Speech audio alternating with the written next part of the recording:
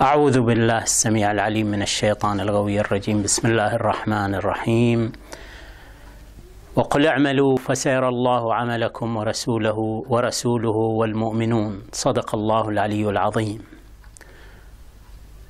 في كل بلاد هناك مناطق رئيسية وهناك مناطق تكون من الشهرة بمكان أن تنعكس فيها الأحداث أكثر من غيرها رغم أن الكون أصبح قرية صغيرة إلا أنه لا زالت هذه الميزة موجودة في كثير من مناطق العالم. وفي كل دولة من الدول تكون عاصمة الدولة هي المركز الرئيسي الذي تخرج منه الأخبار أولا الذي يقصده الناس أولا الذي تنعكس منه الفعاليات والأمور كذلك. ولذلك فالدول تختار العواصم لكي تكون مراكز للمؤسسات الكبيرة لها. والبحرين تبقى المنامة هي العاصمة الرئيسية وهي المكان الأنسب شعبيا رسميا تجاريا وإلى آخره. وليس الحديث عن المنامة كمنطقة وإنما الحديث عن دور هذه المنطقة في عكس الأحداث التي تجري فيها سرعة انعكاس الأحداث التي تجري فيها. فعالية ميداننا المنامة هي فعالية كبيرة ومهمة جدا في ثورتنا المباركة وتركيزها في المنامة هو أمر مهم ورئيسي جدا.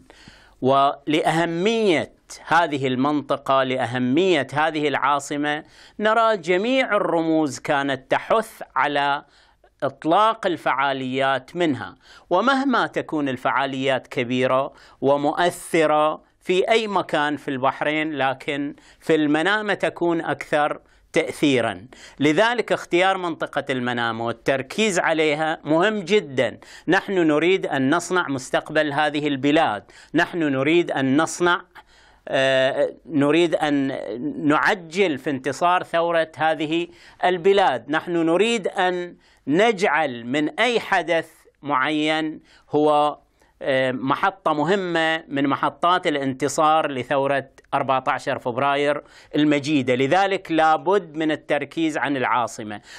ولأن السلطات عرفت هذا المكان الاستراتيجي هذا الموقع للمنامة فإنها تعمل على محاصرة المنامة دائما ومنع أي فعاليات وأي تظاهرات في المنامة. لكننا أصحاب ثورة وأصحاب أهداف كبرى نريد تحقيقها فلا بد من أن نعمل من أجل الرجوع للمنامة ومن أجل إطلاق فعالياتنا في المنامة، خاصة في هذه الأيام التي تتناسب مع أحداث كبيرة ومنعطفات كبيرة، وضمن هذه المناسبة هناك ذكرى اعتقال شخصية علمائية كبيرة من علماء البلد وما أكثر العلماء علماء البلد الأحرار الأشراف الموجودون في السجن.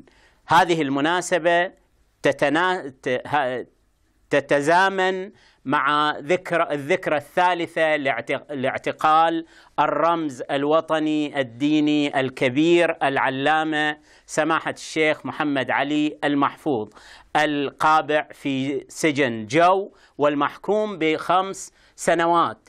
آه هذا العالم الجليل كان من منذ البداية أيضا يركز على نقطتين ويؤكد عليهما دائما.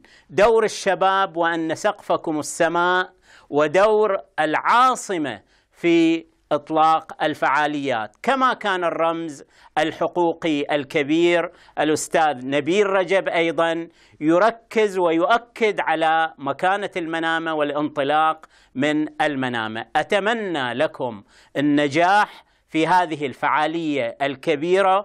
أتمنى أيضا من جماهيرنا وأحبائنا أبناء شعبنا الأوفياء الحضور والمشاركة الكبيرة في هذه الفعالية. حتى نعجل بالانتصار حتى ندخل السرور لقلوب أحبتنا العلماء الرموز السجناء الموجودين في الخارج وإلى أرواح شهدائنا الأبرار. لكم جميعا منا تحية وسلام وأنتم الصامدون المجاهدون. نحن نقف معكم قلبا وقالب وقالبا وننتظر النصر وهو ليس بعيد إن شاء الله. وصلى الله على سيدنا ونبينا محمد وعلى أهل بيته الطيبين الطاهرين.